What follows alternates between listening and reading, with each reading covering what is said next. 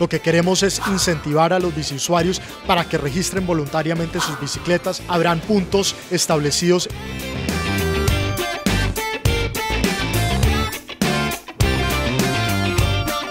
Nosotros a través de las alcaldías locales estaremos haciendo visitas a los establecimientos de comercio para verificar que las bicicletas que estén vendidas sean legales y a incentivar a nuestros comerciantes para que registren todas las bicicletas que estén en venta.